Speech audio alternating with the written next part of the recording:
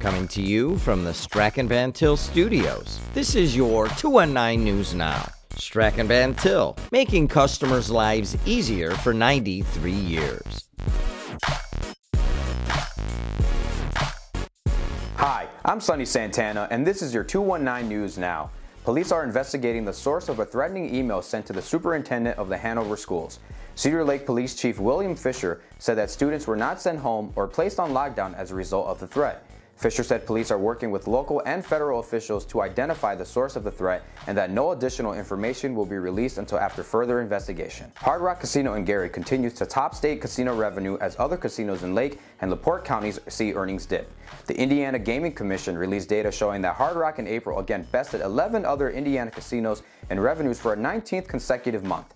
Hard Rock recorded $39.1 million in win revenue last month, a 2.3% increase from last year.